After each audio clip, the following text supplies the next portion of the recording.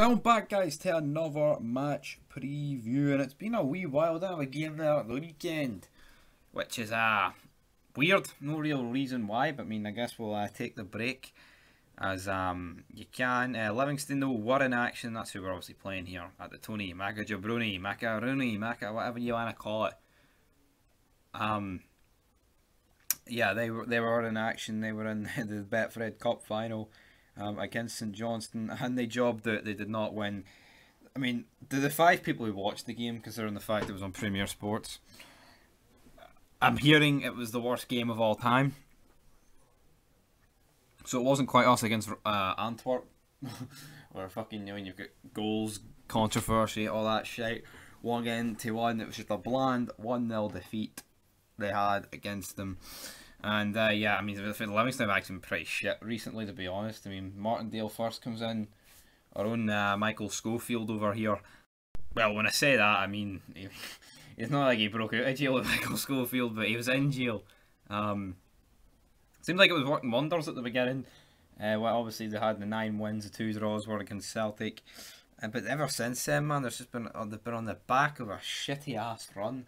Uh, we were playing them when they were going during this run, and that's when we were kind of just winning 1 0 and not even really playing that well. I would have, I would have feared going here, but I mean, I guess as a plastic pitch, um, you got to fear that normally. To be honest, it's always going to be pish, but I think I'm. I mean, I'm confident, like we have been most games. I mean, I'm trying to think of games I have not been confident going into this season, and I don't even think there's been anyone. What, what would I say I've been the least confident game going into? I don't know. Don't think there's any. Maybe Benfica away. That's probably the least confident, but even there, I probably think I predict. I think I predict that score and draw. so just goes to um, just goes to show you uh, there. But we move on, and I think the talking points here is uh, will Nathan Patterson start? I believe I think he should start, but I think he'll go with Balogun. Because I think, I mean, let's be real, Livingston don't have anyone the quality of Jordan Lukaku. You know, they're not going to rinse Balogun like that. And I think we're, we are going to be way more on the uh, the front foot. I know, because Antwerp's just back and forth. I know Livingston under Martindale have improved. They're not exactly 11 or 15 guys behind the ball.